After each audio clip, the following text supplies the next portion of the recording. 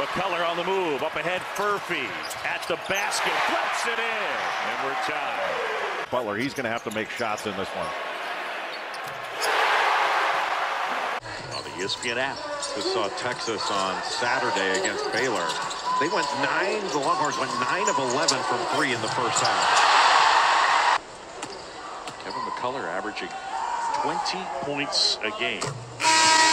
He hasn't had too many 20-point scorers. They haven't. Frank Mason was one. Wayne Simien, when he first got here back in, what, 04, 05?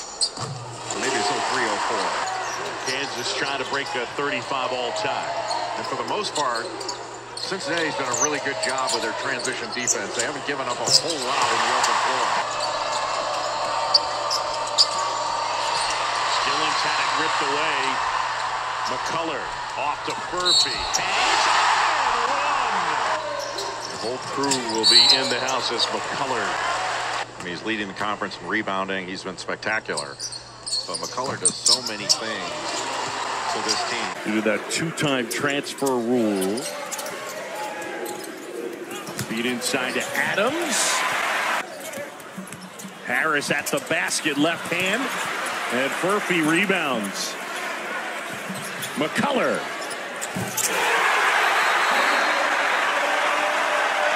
Skillings inside. No call. Bit of a wild shot.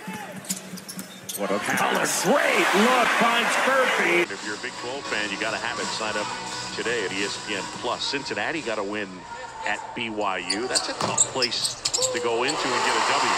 Really tough place. Dajuan Harris Jr., Kansas is the, the reigning defensive player of the year in this league, and he's got a defensive player of the year candidate. Well, you just got to grab that ball every time knock it around. Harris ball fake off the glass and good. In the second half, it's remarkable that they're within two possessions. Got a little loud in here. Just in case you were wondering, that was 124 decibels. Golly. McCullar step back. Got it. He just played another terrific all-around game. Performer on any team in the Big 12 is Kevin McCullar.